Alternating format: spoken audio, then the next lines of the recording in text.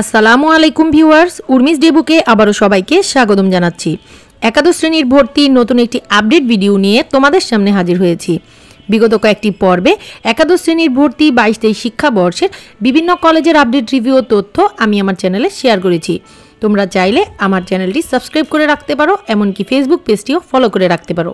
এর link address description বক্সে দেওয়া থাকবে। আজকের এই ভিডিওতে একাদশ শ্রেণীতে ভর্তি বাইশ তেইশ শিক্ষাবর্ষের কলেজে চান্স হয়নি।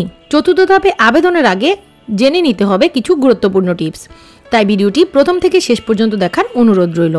চলো এখন বিস্তারিতভাবে জেনে নিই। আমার আরও দুটি চ্যানেল রয়েছে, একটি হচ্ছে বঙ্গ ফুডিস আরটি হচ্ছে একটি ব্লগ চ্যানেল। তোমরা চাইলে এই চ্যানেলগুলো সাবস্ক্রাইব করে রাখতে পারো। যদি এক্সাই ক্লাস অ্যাডমিশনে নিজের রোল, রেজিস্ট্রেশন নাম্বার ও কোড দিয়েছ, কিন্তু এমন একটি মেসেজ পাচ্ছ, দুঃখিত, আপনি ভর্তির জন্য নির্বাচিত হননি। তার মানে তুমি কোনো কলেজেই চান্স পাওনি। আর আরেকটি কারণ হচ্ছে XI class admission system two zero two থ্রিতে গিয়ে আবেদনই করনি সেক্ষেত্রে চতুর্থ ধাপে আবেদনের ক্ষেত্রে রয়েছে কিছু গুরুত্বপূর্ণ টিপস। সর্বশেষ চতুর্থ ধাপে কারা আবেদন করতে পারবে?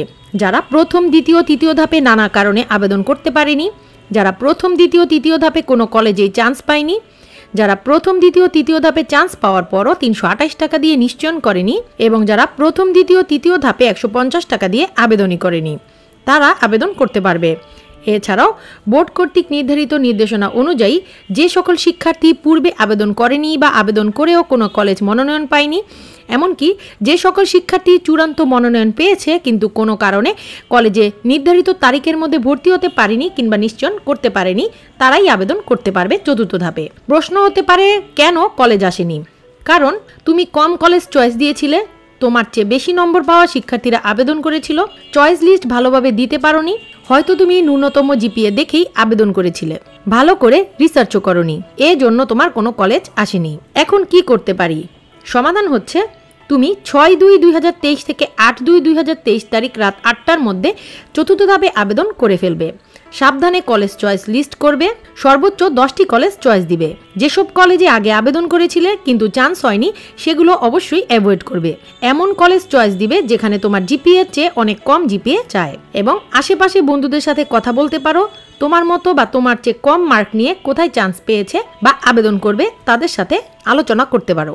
তাহলে বন্ধুরা, আজ এ পর্যন্তই। তোমরা জানতে পারলে সর্বশেষ, অর্থাৎ চতুর্থ ধাপে আবেদনের ক্ষেত্রে কি কি বিষয় মাথায় রাখতে হবে এবং সাবধানতার সাথে আবেদন করতে হবে এবং মানতে হবে কিছু গুরুত্বপূর্ণ টিপস আবারও নতুন কোনো ভিডিওর আপডেট নিয়ে তোমাদের সামনে হাজির হয়ে যাব।